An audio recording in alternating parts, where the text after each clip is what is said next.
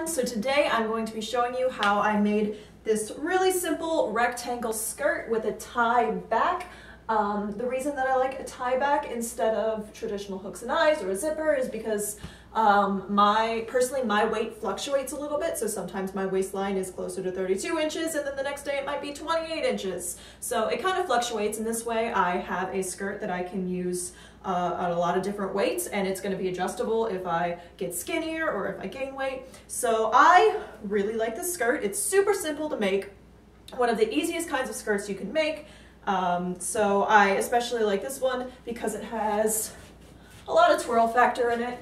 And I know I'm going to be wearing this out dancing, which is awesome. And then even better, it has a broccoli pattern, which I'm not sure if you can tell from there, but I like the idea of it being, you know, when you're far away, you're like, oh, it's kind of a nice green pattern. And then when you get up close, you realize, oh, wait, it's broccoli. So I think it's absolutely amazing. I think it's beautifully tacky.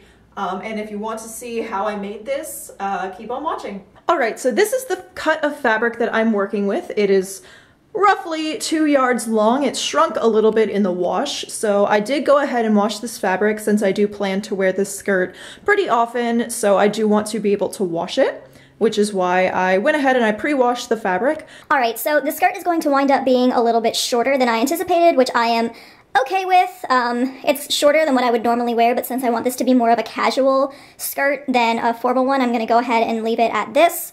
Um, so we will see how it looks. So the first thing that I'm going to do is this is, or it was 44 inch fabric, which means this is folded in half. Uh, so what I'm going to do is I'm going to go ahead and cut along the fold up here so that I wind up with a total of four yards of fabric instead of two yards. So before I get to cutting the fabric, I'm actually going to cut the waistband while I still have the fold. Now I uh, normally I'd be okay with just cutting one strip for the waistband because my waist is currently 29 inches and this is, it was supposed to be 44, it's down to 40 inch fabric, um, so that would be a lot of room, but I want to have a tie back for this, so I'm going to double the length of the waistband so that I can make sure that happens. So I would like a 2 inch waistband, which means I'm going to cut two 5 inch wide strips, um, and the reason for that is so when I, I want a half inch of seam allowance on either side, and that way when I fold it over, I'm going to have two inches. So I have the two inches, and then I double that to get four inches for the fold, and then I want half inch on each side for a seam allowance, so that's the, where the extra inch comes from. So I'm going to cut two five inch long strips from this end,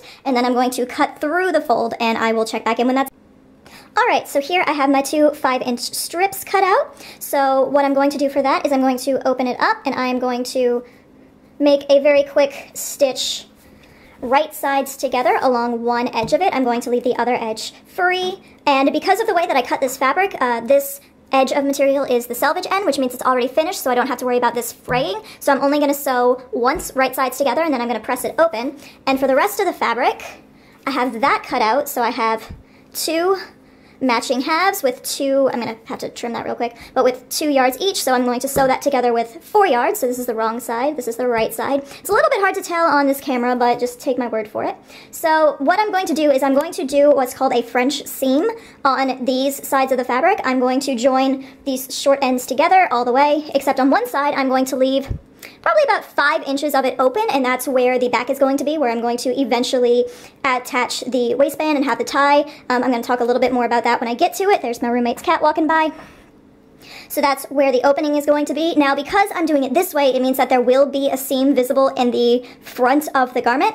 I'm not worried about it because I'm using so much fabric, it's going to wind up pretty much hidden in the seam, or in the folds of the fabric itself. Also, because of the way this pattern is, it's really kind of jumbled and almost random, so I'm not too concerned about it showing, but if you have issues with that, then what you could do is sew all the way up both of the loose edges, and then uh, just cut a strip in the, or cut about five inches down in the back. So I am going to go ahead and do the French seam, and if you don't know what that means, it means I'm going to first sew directly like this, just like it is, with wrong sides together, and then I'm going to flip it inside out and press the seam real quick, and then I'm going to sew it right sides together so that it creates the nice seam. And the reason that I'm doing this is because with one wash, you can see this fabric frayed pretty poorly, so I'm anticipating if I ever wanted to wash this, this skirt again, it would fray even more, so that way I'm going to be hiding all the rough edges, so hopefully it won't fray next time that I wash it. So that way I can do it in the machine, and I don't have to do it by hand, which is nice because I'm lazy.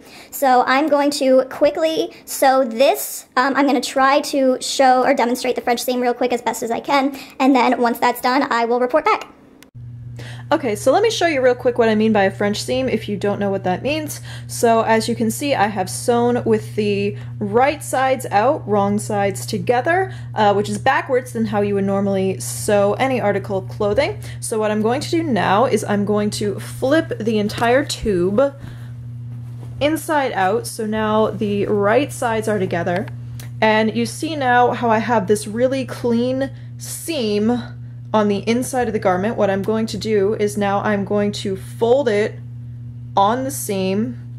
When I have both hands, I'm going to do it prettier, but I'm going to fold and then I'm going to sew along here. Now the thing about this is to make sure that it's really done right, you want to make sure you have a smaller seam allowance on this first stitch and a larger seam allowance on the second one. So I sewed with a 3 8 inch, well, somewhere between a 3 8 and a 2 8 inch seam allowance on this side. So I'm going to sew half inch um, probably a little bit more than a half inch on this side.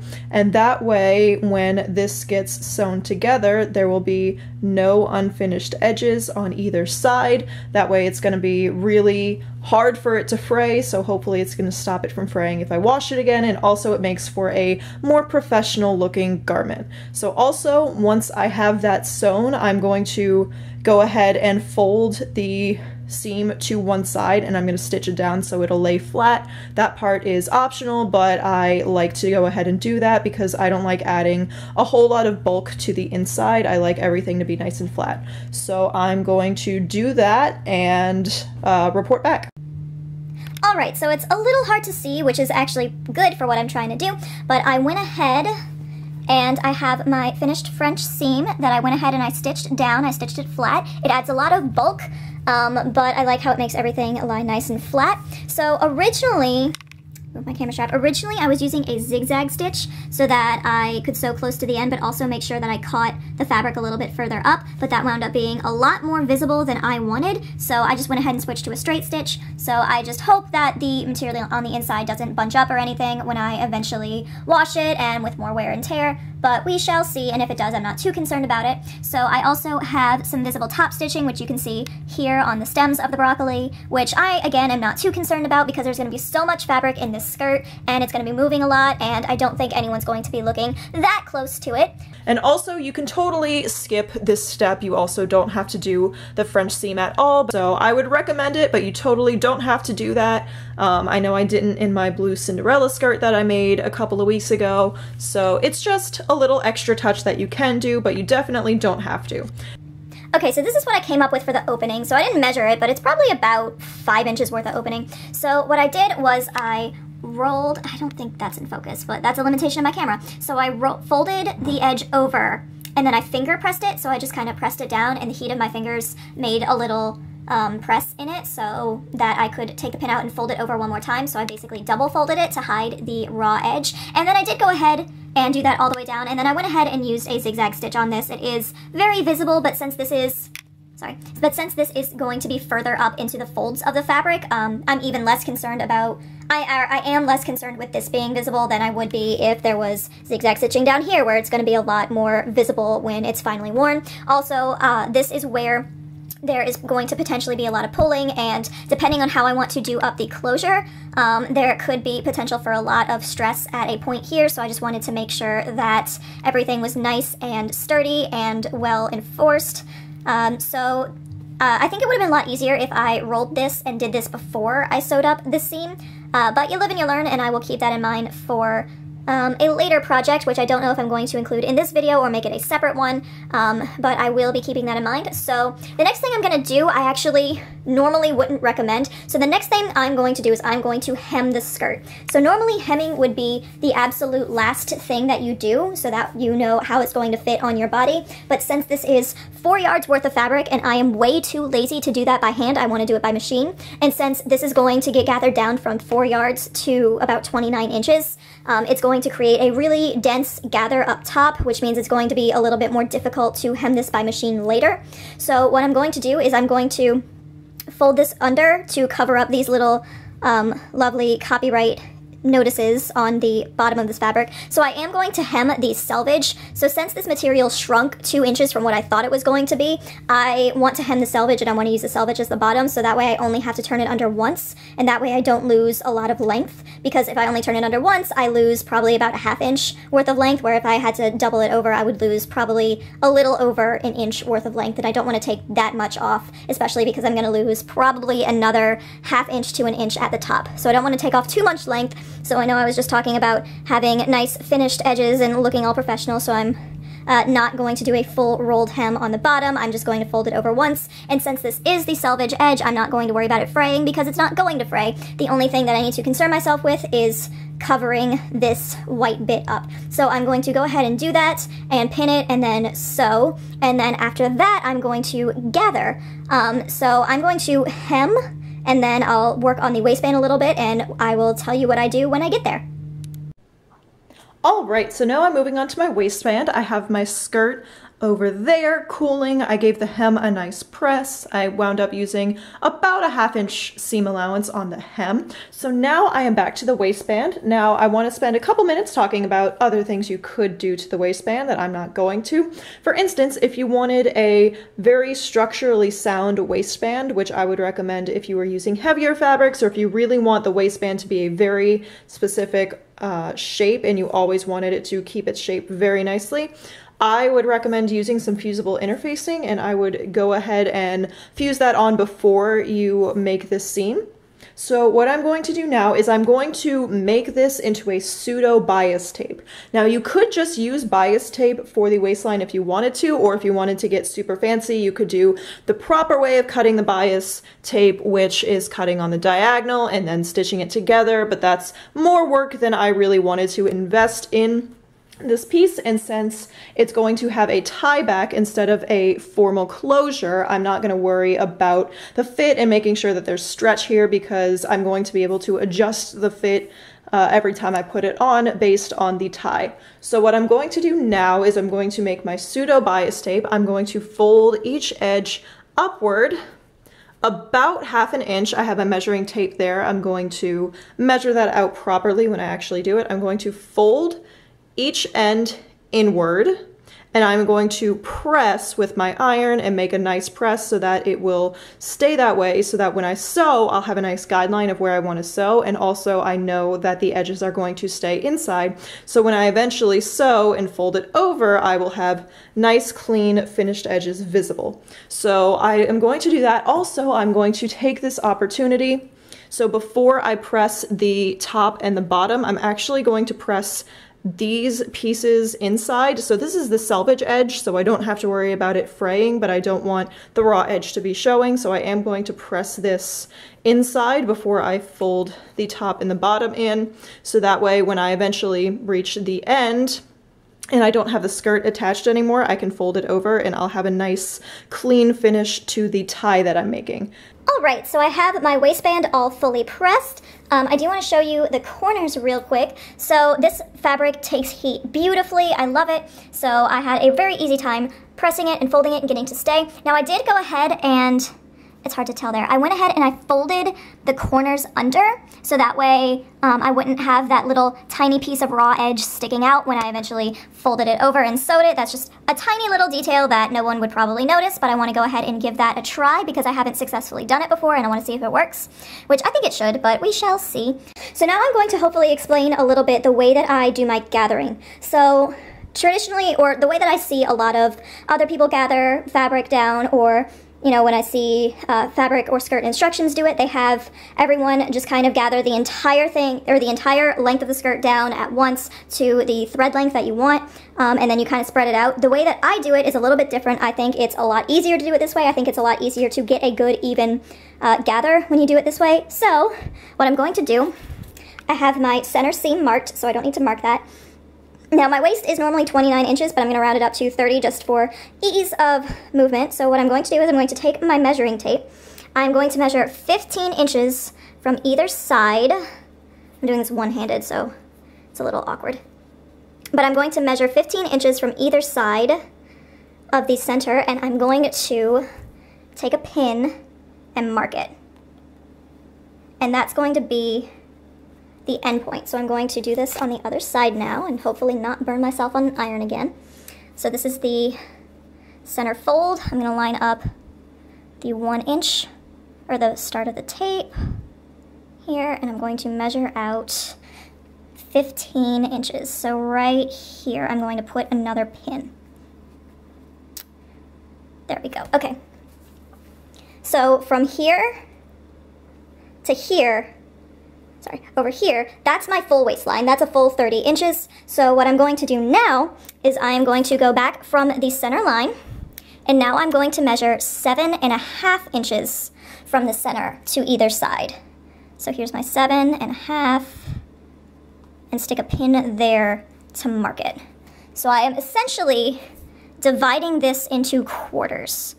So that way I'm going to gather the skirt, but I'm only going to gather the skirt a quarter at a time. And that's gonna make managing it so much easier. It's gonna make it so much easier to gather it down and make sure the gathers are even. It's gonna make it a lot easier to maneuver later. So um, I'm going to hopefully get my tripod set up so that you can see what I'm going to do next so that I can show you what I'm doing a little bit better because I need both hands for that. All right, so hopefully you can kind of see what I'm doing here. So I went ahead and remark I measured the quarter mark of the skirt. Um, that's just a matter of folding. I thought it was really simple, so I didn't think I need to show I needed to show that. So what I'm going to do, because that's on the top. So what I'm going to do now is I'm going to start pinning the skirt to the waistband.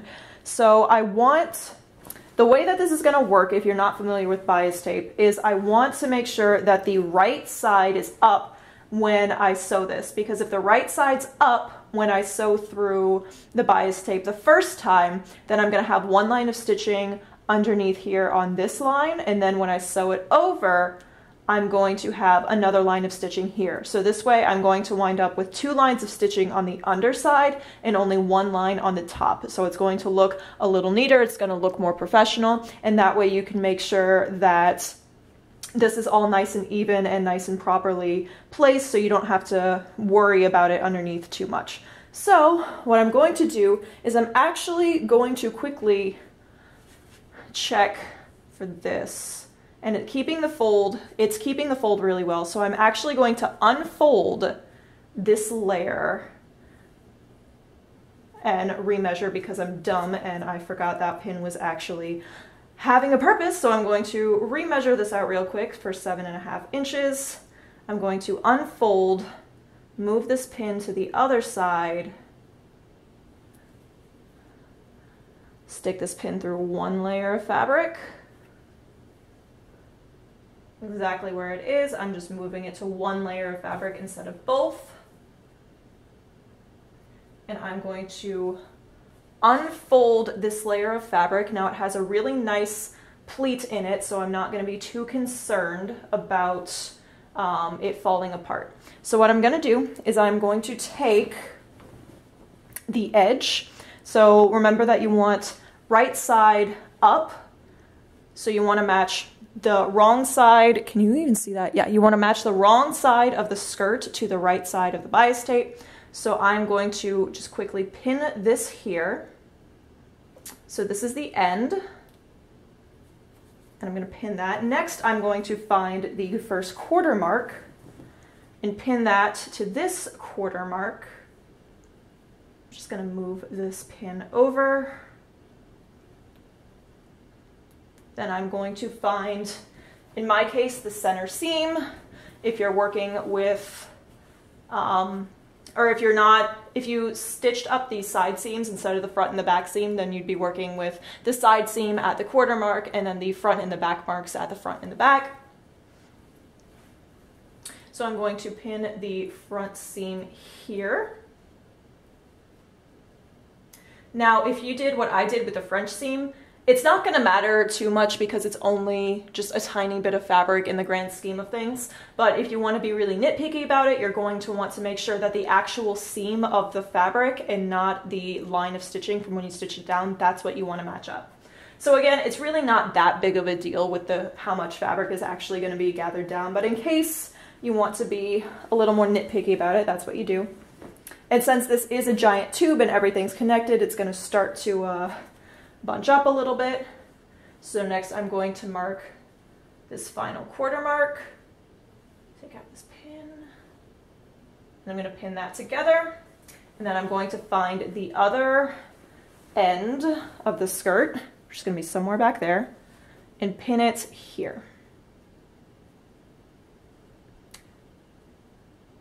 So what this does is instead of gathering uh, four yards of fabric down to 30 inches, this allows you to gather one yard of fabric down to, I can't math, um, probably about six, seven inches. So it makes it a lot easier. In this way, you can gather in pieces. So if you wanted to only gather this one section real quick and work with this, you can, and then you're only gathering and pinning and making sure just this one section is matched together instead of worrying about everything matched together. So I'm going to go back to this side and I'm going to show you how I gather it. I might speed through this, but we'll see. Also this way, uh, because you're working with smaller sections, in case something happens and your needle breaks, you only have to go back and do the one section instead of redoing everything. So this is just a tiny needle. Ideally, you would use a much bigger needle for gathering, but this is just what I have. There we go. A tiny, small little needle, and I have this green thread. So what I'm gonna do is drop the thread. What I'm gonna do is pull out a little measure of thread. Um, is probably about 24 inches. It doesn't have to be anything major. And what I like about this technique of gathering is you don't have to do the whole thing in one section, so you can do lots of smaller sections. So I'm going to thread this needle, which happened off camera, my bad. And I'm actually going to pull through a double length of thread. So what was 24 inches is now 12 inches of double thread. You can kind of see that on the red at the bottom. So that's what I'm going to do. Then I'm going to tie this off really quickly, nothing fancy, just a simple couple of knots. I know there's a better way to do this and quicker and you can like wrap it around your finger and then slide it, but I never really like that that much and I feel much better when I know that the knot is there. And I really don't mind taking the extra 30 seconds to do it. All right, so this is what I have. I have my knot, roughly 12 inches of thread on my needle. So the first thing I'm going to do is I'm going to pick up this end and I'm going to make a really small, you're not going to be able to see it because it's green thread on green fabric. I'm going to make a very small, simple cross stitch real quick just to anchor the thread in place. Um, this is going through the layers that I created, so I have a lot of extra strength in this area. And once you have that stitch in place, you can go ahead and move this pin because it's all secured. Next, I'm going to bring the needle to the front of the fabric. It sounds weird to have to say it, but I have messed this up on more than one occasion. And I am going to eyeball it. If you wanted to make a mark on the fabric, you would do it before you pinned it and you could use a ruler or measuring tape and just make a mark all the way through, probably about half an inch down. So I'm just going to start gathering. Hopefully you can see what I'm doing. So the important thing is that you want to make sure this is done an equal distance from the an equal distance from the top all the way across. It doesn't really matter too much what distance that is. I want to make sure that this is under half an inch, again, because this fabric shrunk in the wash and I don't want it to be too incredibly short, so I don't want to take too much length out. But as long as this is an equal distance, it really doesn't matter. So I'm probably going to speed through this until I get to the end.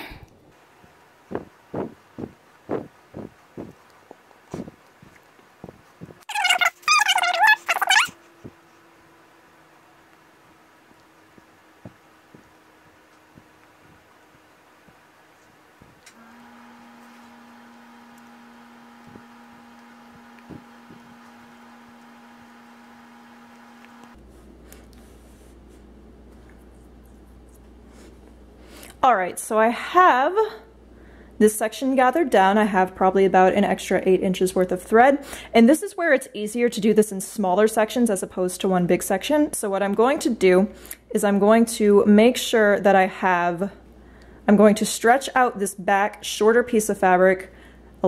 Um, it stretches a little more than I would actually want it to, but I'm just going to stretch it out, make sure it's straight, make sure there's no real folds in it. And once that is done, I'm going to take the leftover thread and I'm going to make another anchoring cross stitch in it. Uh, now I am going to go ahead and tie this off because I don't have enough thread on my needle to do another section. So I am going to tie this off real quick. Now that I'm doing it on camera, I can't quite get it. Everyone has their own way of tying off thread. This is just the way that I have done it for years, and I like it this way. tie a couple of knots, usually two or three. This particular stitch doesn't have to be incredibly strong. It just has to hold while you pin it in place and while you sew.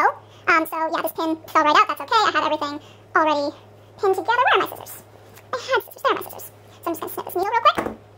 Put this off to the side. And now what I'm going to do is I'm going to make sure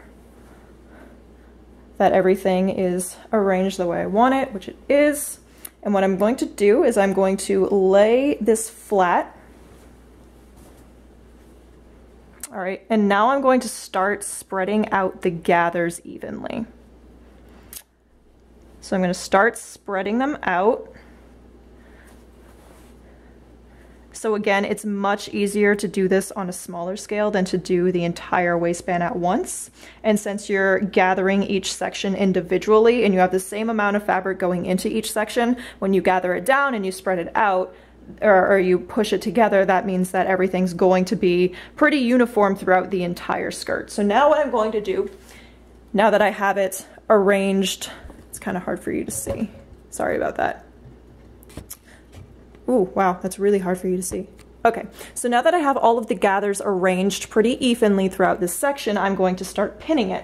So I'm just going to start from the center of this section and I'm just gonna eyeball it. It doesn't have to be precise and I'm just gonna pin it in place.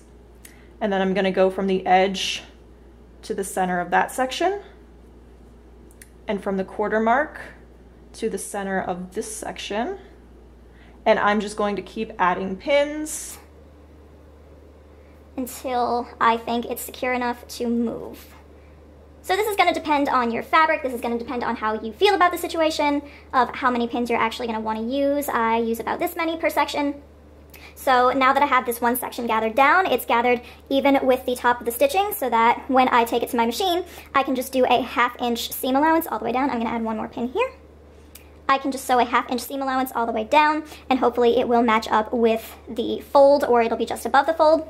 So that way when I flip this over and fold it and I stitch this down, I will only have one layer of stitching visible on the top. So I'm going to gather all of my sections down like that and then I'm going to go ahead and stitch and probably go ahead and fold this over and stitch before I check back in again. Alright, so here I have the waistband fully installed. Um, it looks a little wrinkled because I actually just put it on and filmed my intro and outro. Um, so what I did was I went ahead and sewed the skirt to the like the right side of the bias tape. So I sewed that and then I went ahead and I folded this top layer over and then I made a really small line of stitching going that way. So this way I only have one layer of top stitching on the outside and there's a couple of messy layers on the inside that we don't entirely need to look at. Um, so yeah, I am really happy with how this turned out. So um, I went ahead and I just sewed one layer through, or I sewed one line of stitching to do the waistband, so I didn't think I needed to do two layers and there really wasn't anything to sew through twice, so I just folded it over and I made sure that I used a small enough seam allowance there so that when this gets pressed open. If it accidentally does, then no raw edges are showing. So I went ahead and I did that. And you can see here, maybe sort of, uh, but you can see here where I folded over those corners to make sure that there weren't any raw edges showing up here so it won't fray over there. So I think I'm going to go ahead and call this done. We're gonna look at the hem real quick because it's nice and finished with the selvage. Um, So I'm gonna go ahead and call this done. The only thing I would have done differently is I think I would have done these seams on the side instead of in the front and the back um, because they are, or the one in the front is kind of visible and it does make the skirt not quite spin the way I want it to, but I'm not too concerned about it. I think people are going to be more distracted by the fact that it's broccoli than I have a uh, very stiff part in the front. So yeah, next time I would do this, I would definitely put these on the side, um, especially if I'm working with a fabric as thick as this one. One last thing I totally forgot to mention. So when you close up the waistband at the top and you have this little extra bit of fabric that you leave unsewn so that it's easier to get in and out of, uh, sometimes you wind up with a gap here. Uh, so there are a couple ways you could go about fixing that. You could either put in some hooks and eyes, you could put in some snaps, you could put in some Velcro. If you wanted to go ahead and install a zipper there, you definitely could. Um, what I'm going to do because I'm lazy is I'm probably just going to safety pin it every time I wear it. So every time I wear these kinds of skirts, I always have something underneath because I'm going out dancing. So for my long blue one, I always have my petticoat on. And for this one, I'm definitely gonna have shorts on underneath. So I'm not too concerned about this potentially gaping open, but you know, if you wanted to do something to make sure that stays closed, you definitely could. I'm probably just going to put one or two safety pins in it next time I wear it. So now I'm going to call that done. Lils, come here. Come here. You wanna come say hi? Please? You wanna come say hi? Okay. Lils wanted to make an appearance. Actually, she didn't. She's not happy with me for taking her but she's gonna help me say bye. Thanks for watching. Bye-bye. Bye-bye.